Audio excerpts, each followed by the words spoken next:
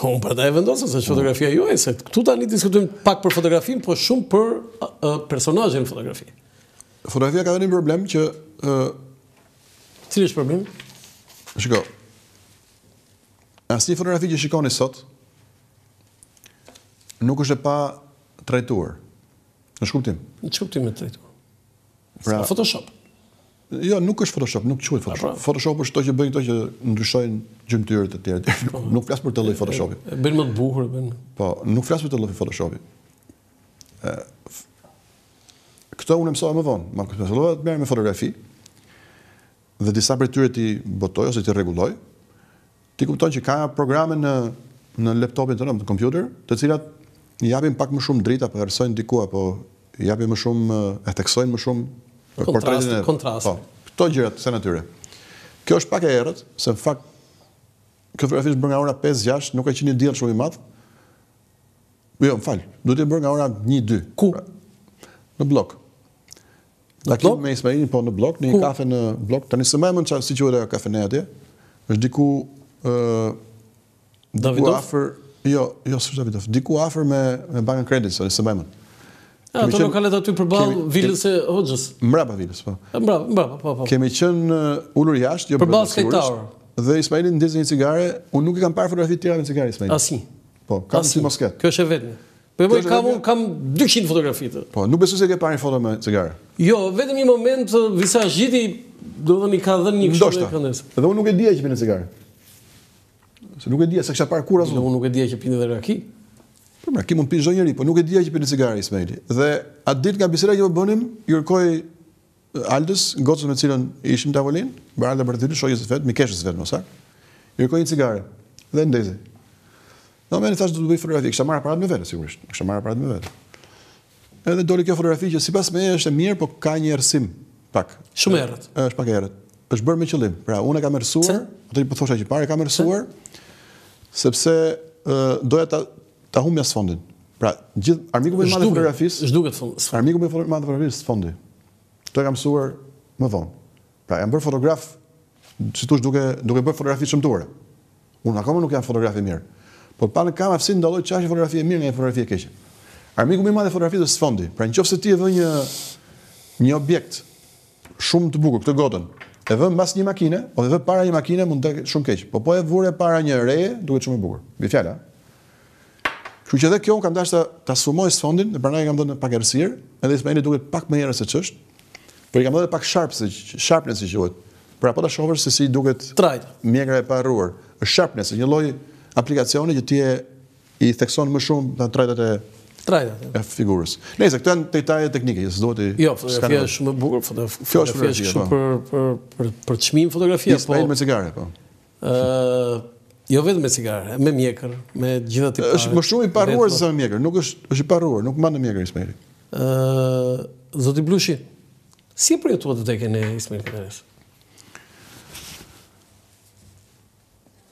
Po, unë nuk hyj tek familjarët sigurisht kanë arsye ta përjetojnë më shumë, po si një ë si një humbje kulturore patjetër. Pavarësisht që Ismaili nuk prodhonte më. Por, Mira, është, është po... me, me, pa, pa asnjë diskutim, shkrimtari më i madh që kemi pasur. Shqiptari më i madh. Shkrimtari më i madh. Shkrimtari më i madh. Shkrimtari më i madh që kemi pasur, po. Pa asnjë diskutim. Është njeri që ka një univers të jashtëzakonshëm krijimtarie, edhe tani që shkruaj vetë e kuptoj se çfarë vullneti duhet të ketë pasur, edhe çfarë edhe talent. Po nuk diskutohet talenti, nuk po flas për talent. Kjo këtë nuk e vë në diskutim.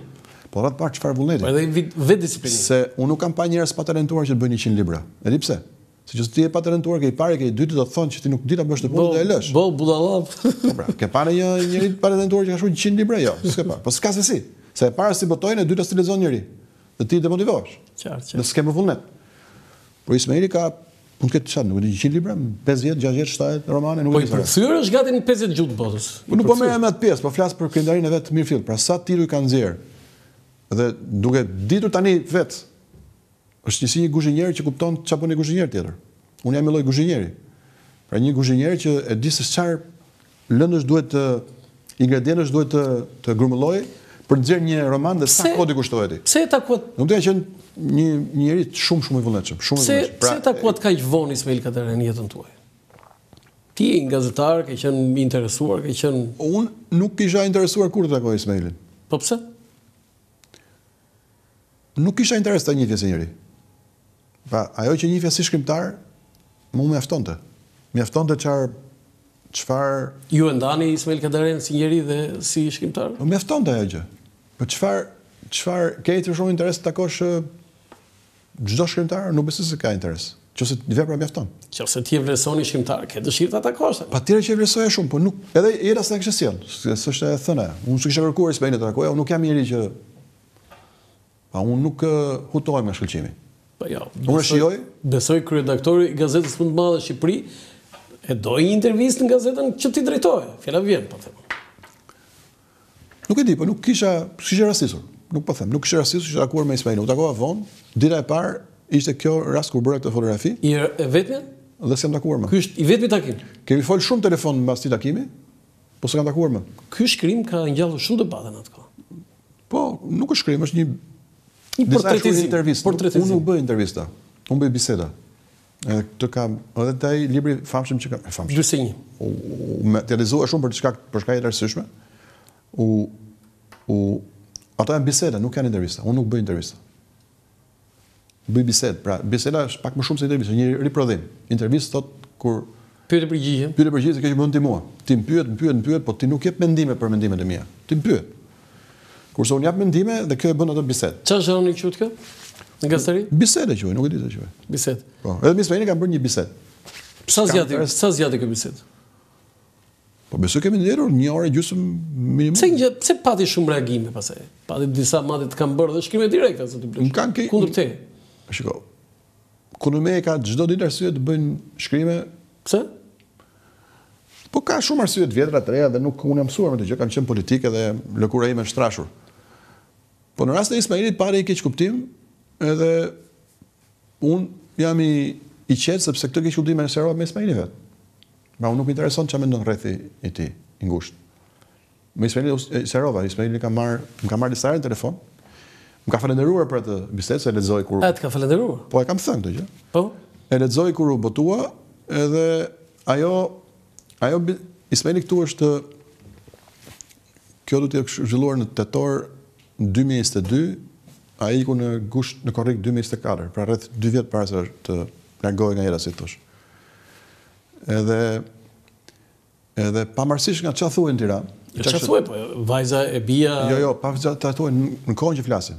Po. Pra në tetor 2022 në Tiranë flitej që Ismaili, si të thuash, ishte pak i përhumbur. Ose kishte filluar të tërhiqej nga Po, mbase nga mosha. Nga bisedat. Është është normale. Unë s'e gjeta të tillë, e këtë e kam shkruar në Po, atë bisedë. po. Pra, unë vër, pashë të kundërtën. Pashë një njeri shumë të detajuar, të detajist më saktë, që s'kishte humbur në asnjë moment vëmendjen, që ishte i përqendruar, që dinte çfarë thoshte, dinte për çfarë pyeste, edhe kuptonte atë që i thoshe. Ne kemi bërë bisedë shumë të bukur me Ismailin, prandaj e kam e kam shkruar. Pra nuk gjeta atë njeriu që Tirana fliste se ishte. Për mua ishte shumë normal, edhe tmerrësisht i vëmendshëm, edhe shumë i fokusuar. Ky shkrimtar, edhe shumë paqësor. Ky shkrimtari më i madh i të gjitha kohërave të letërsisë shqipe, kur do të zëvendësohet? Keni parashikim? Po ku, ku ka njeri që mund të parashikojë ça ndodh?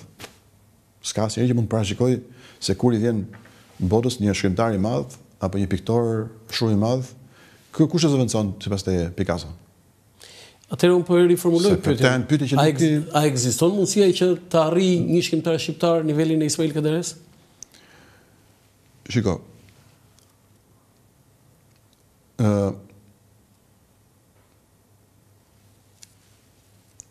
Sipas teje sa i madh është sot Balzaku për letërsinë franceze? Pothuajse i paarritshëm. Po po pyes një francez, të ditëve tona nuk mendon kështu. Padyshim Balzaku është shkrimtar po, po. i jashtëzakonshëm për Francën, edhe për botën ndoshta. Por koha e ndryshon letërsinë. Dhe sidomos koha që jeton, që jetojmë sot, e ndryshon letërsinë më shpejt se ndoshta gjithçka. Ta them pse. Në dy mijë vjet, që nga koha e Homerit, kur kur mund të datohet fillimi i letërsisë botërore, deri para tridhjetë, dyzet, pesëdhjetë vitesh, po. letërsia ishte gjithçka. Në ç'kuptim gjithçka. Për shembull, ë jeta ishte shumë shtëpiake. Dhe e vetmja mundësi për të kuptuar botën, edhe njeriun, dhe ça ndodhte, ishte letërsia. Se s'kishte as televizor para 100 vjetësh. S'kishte s'kishte Instagram, s'kishte Facebook, s'kishte Netflix, s'kishte kinema, s'kishte futboll. Pra, gjitha kënaqësitë që merrnin njerëzit për përfshi dhe estetike, përfshi dhe informacionet që merrnin, apo po. ishin nga letërsia. Apo jo. Letërsia ishte Fejsbuku,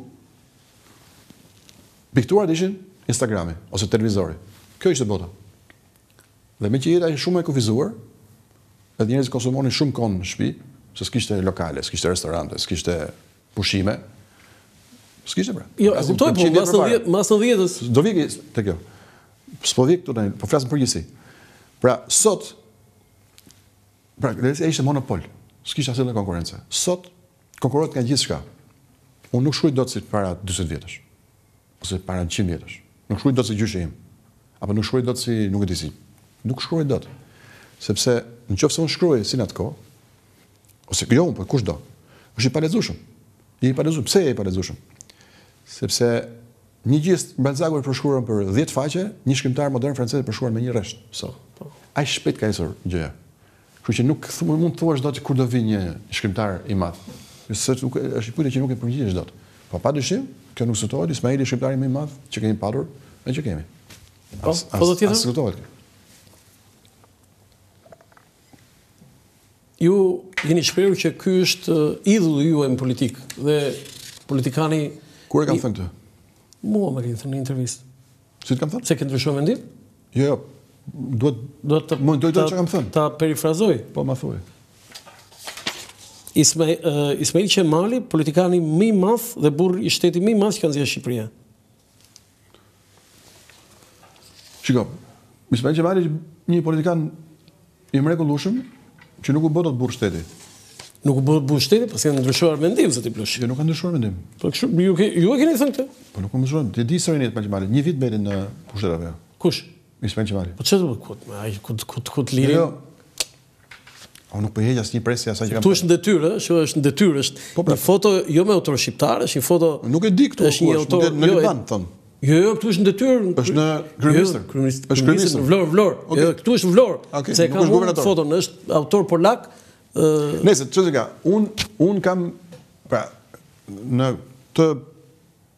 Shqipëria nuk ka një, po të lexosh historinë e Serbisë, të Rumanisë, të Kroacisë.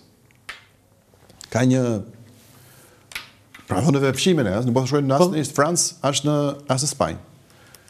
Shqipëria ka një numër të kufizuar politikanësh për të cilët mund të flasim. Se s'ka pasur. Që nga Skënderbeu, deri në kohën e 1912 ne ishim bosh. Mund të flasim për për politikanë turq. Dhe që të kuptosh ç'do të thotë të jetosh në ishull, u themi po, pra, po. pra mund të flasim për njëqind vjet politikë, po, autonome shqiptare. Është pak. Pa, pra kemi, kjo galeria e njerëzve për të cilët mund të flasim, përfshirë dhe, duke filluar nga Ismail Qemali, është pak e ngushtë.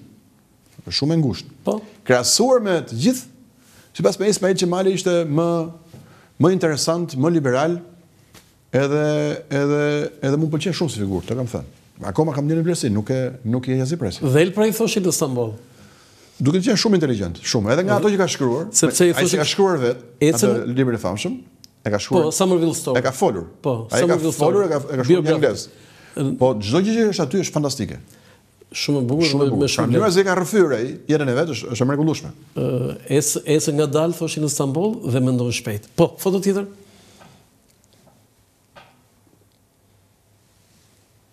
Fevziu, Fevziu është një mik i imi i vjetër, si Bushati dhe Shkullaku, pak a shumë kemi qenë, jo kemi qenë pak a shumë, po kemi qenë në një, në një, në një cikël. Ju keni qenë në klasë? Po pra kemi qenë në klasë në filologjik. Jo në gjimnaz, në gjuhë-letërsi, në, në Universitetin e Tiranës, po, filologjik. Edhe me Fevzon kam kujtime shumë të bukura edhe jemi akoma, po bëhemi, bëhemi shpesh. Kjo do jetë një fotografi e 2-3 viteve përpara, se unë mbaja po, me mjekër apo jo. Selfie. Po, një selfie. S'e di ku e ka botuar, e ka botuar Fevzo, ndoshta ai shumë maniak mbas këtyre kujtimeve. Jo, së fundi... Edhe unë kur kërkoj një gjë, po, një fotografi te Fevzo, marr Fevzon telefon, e ke këtë fotografi. Po, a ke këtë fotografi e ka gjithmonë. është një arkivist i paparë. Fevzo është bërë një arkivist i mrekullueshëm, por mania që ka për të mbledh detaje. Për shembull, unë kam shumë gjëra që s'i mbaj mend nga nga historitë e përbashkëta, po. Fevzo çdo moment m'i kujton kur kur më intereson një gjë. Ë, si e vlerëson emisionin e e Fevziut? Mendoj që është Keni thënë si parlament parlamenti i darkës. Po, mendoj që është parlamenti i darkës, po. E bukur kjo po, shprehje e ke. E kam thënë po. E ke thënë. E kam thënë. E ke thënë. Është parlamenti parlamenti paralel. Po. Është parlamenti paralel. Dhe këto të fundit me videot e Fevziut që është in the round of the world. Ma, pasioni i tij ka mësht, ai ka, ka një pasion për të udhëtuar edhe tani po e, po e si t'thuash po e ilustron, po e tregon këtë gjë, po e po e ndan me njerëzit. Po jo, ajo edhe monetizohet, ajo bëhet edhe për njerëz të tjerë. S'e di këtë, nuk e di pse, nuk. S'ta ka s'ta ka treguar. Foto tjetër? Kjo është në Kryegjyshatën Botërore të Bektashinjve, është një foto viti një mijë e nëntëqind e njëzet e tetë zoti Blushi, ku Ky është Sali Niaziu, duhet të jetë apo jo? Po. Para se ta vrisnin. Që u vra, para se ta vrisnin. Po, kam parë një fotografi dje, po jo këtë, Po. ditën që kam bërë, kam varrezur ri-varrosur, pra, kam marrë eshtrat e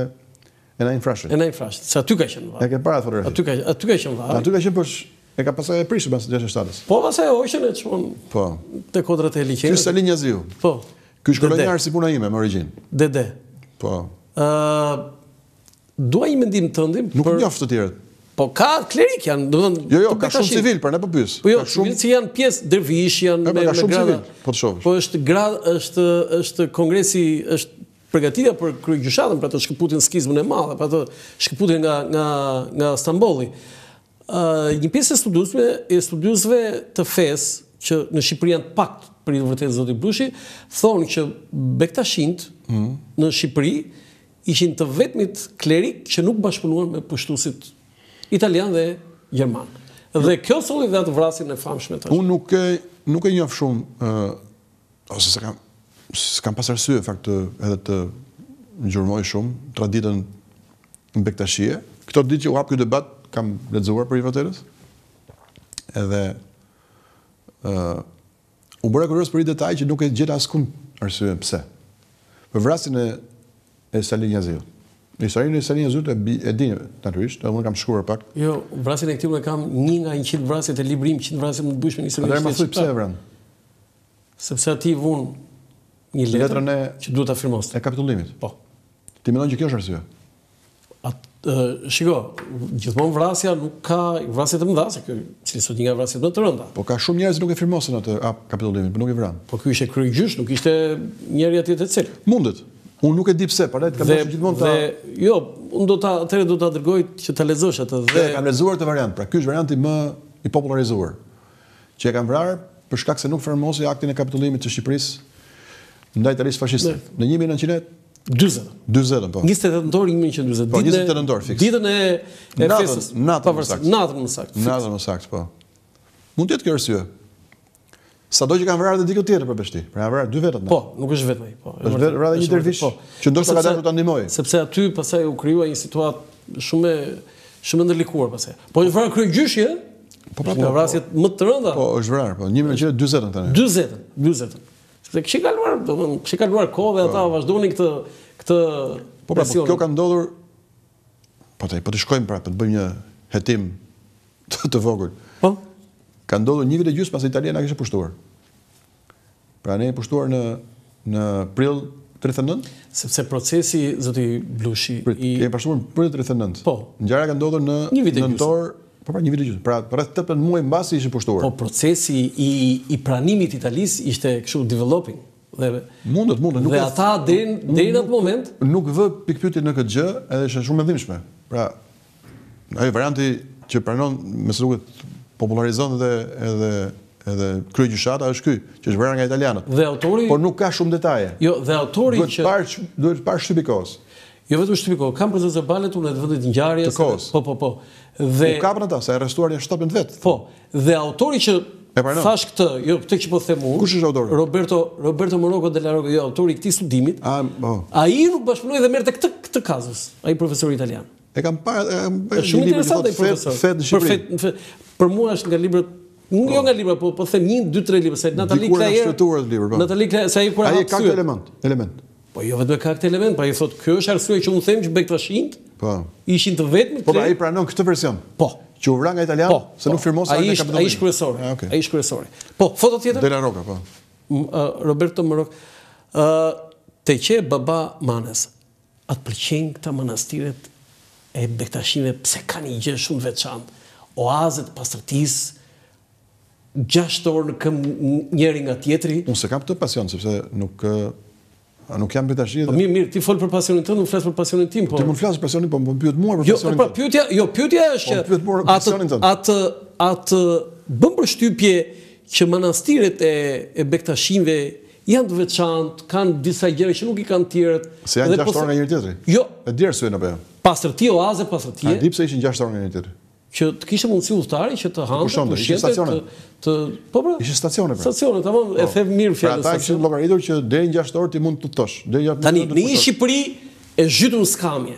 Atje Domethënë kishte për të ngrënë, për të pirë, një Shqipëri që s'kishte asgjë, atje kishte për të fjetur, një Shqipëri madje atje mësoi gjuha shqipe. Kjo është më e rëndësishmja. Nuk të ka tërhequr kjo? S'të emocionon më duket. Jo patjetër, po po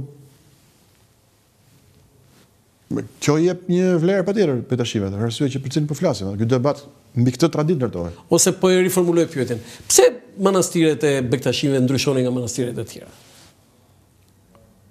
Të po, feve. Teqe, apo, si që manastire. Po jo, manastire, manastire që dhe, formë në tyre ka. Teqe.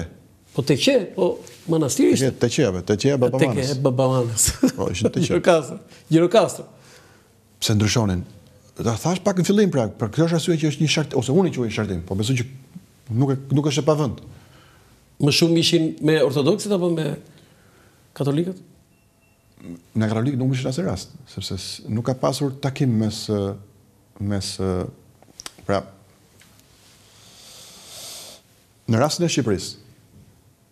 Ata që u kthyen në Bektashi ishin të gjithë ortodoks. Ortodoks shumica të jugut. Shumica, të jugut, po. Nuk ka ta thashë dikush më tha pra zëlish ka ka Bektashi në Bulqizë. Nuk e di për çfarë arsye. Pra, që... Po edhe unë e dëgjova për atë. Po ndoshta kjo pjesa e veriut, po pjesa... ka Bektashi në Bulqizë. Po kryesisht Bektashi janë në jug. Jugu ka qenë krishter ortodoks. Apo jo, se kemi qenë me kishën e lindjes. Shqipëria e kjo është një temë për t'u hulumtuar në fakt nga historianët. Shqipëria në Shqipëri kalonte e famshme vija e Teodosit.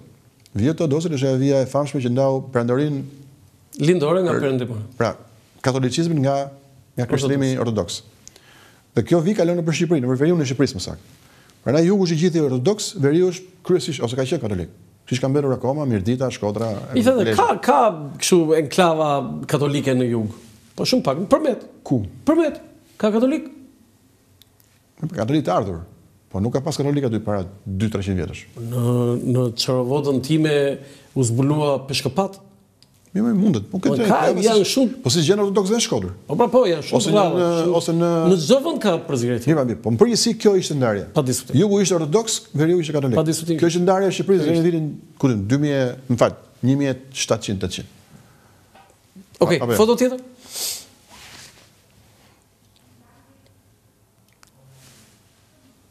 Unë doja një foto, nëse është e mundur regjia, unë e kisha një foto me babain, nuk e di, ndoshta, nuk është me babain e zotit Dushi, sepse kisha shumë dëshirë ta, ta komentonim.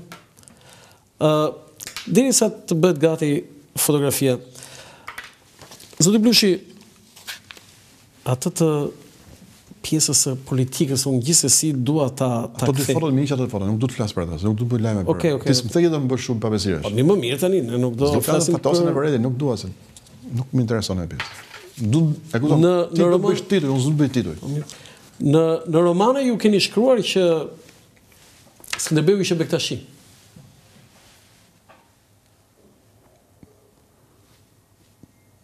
Nuk e them dot. Është pak herët? Jo, po e keni shkruar ju këtë gjë.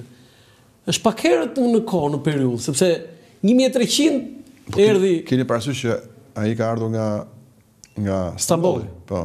Dhe ju thoni që ka marrë që atje. Mund ta ketë marrë që atje.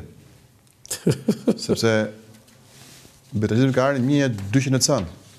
Afër 1300, kemi... E pra, Haxhi Bektashi ka jetuar në vitin 1200 e ca. Pra, një 100 vjet më vonë, ky, ky tarikat, apo ky, ky, ky devijim, ky shartim, në një kuptim, ka ardhur deri në Stamboll, pa dyshim, që ishte qendra e perandorisë. Dhe kur ka qenë Skënderbeu në Stamboll? Dyqind vjet më vonë nga Haxhi Bektashi.